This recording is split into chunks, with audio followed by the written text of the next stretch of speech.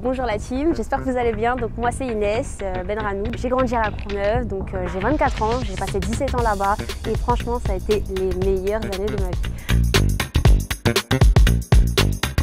Je suis designer, concepteur industriel. Ce que j'aime dedans, c'est la forme, la caractéristique, justement le côté créativité. Donc je pilote aussi certaines voitures, donc euh, je suis passionnée d'automobile où je vois des italiennes, des américaines bien évidemment, on les a là. Je fais des événements de car, sport car, comme le Big Car Show, comme le Wonderland.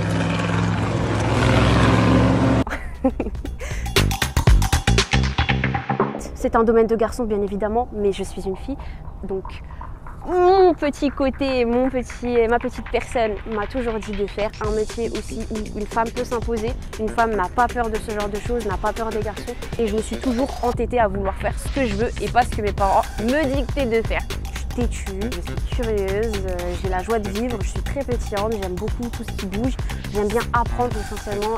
Donc voilà les filles, n'abandonnez jamais, même si c'est un métier de garçon et que vous voulez le faire, vous le faites. Il n'y a aucun souci. Voilà.